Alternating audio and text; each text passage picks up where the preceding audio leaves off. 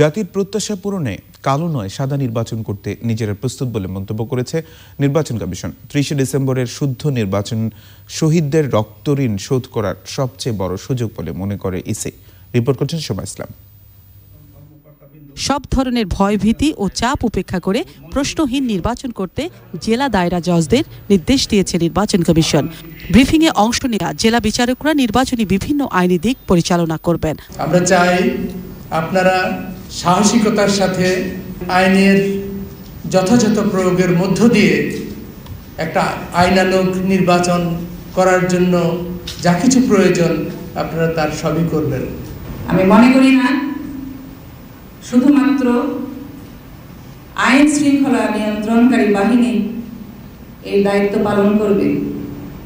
আইন শৃঙ্খলা নিয়ন্ত্রণকারী বাহিনীর সাথে আপনারা যারা আছেন সবারই এই সুষ্ঠু পরিবেশ এবং নিরাপত্তা দেওয়ার দায়িত্বের মধ্যেই পড়ে। সংসদীয় তিনশো আসনে জেলা ও দায়রা বিচারকদের নিয়ে একশো বাইশ জনের ইলেকট্রাল ইনকোয়ারি কমিটির প্রতি ইসির নির্দেশ ক্ষমতা বলে কোনো নির্দোষ ব্যক্তিকে যাতে অপরাধী করা না হয়।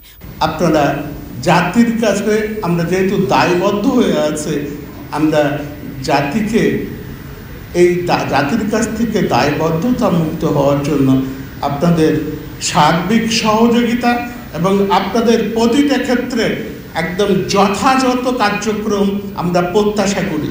যে কোনো নিয়ম বা বিধিবিধান লঙ্ঘন আমলে নিয়ে আপনারা কঠোর শাস্তি প্রদানের অধিকার রাখেন। তবে তাতে আপনাদের সর্বোচ্চ সতর্কতা অবলম্বন করতে হবে।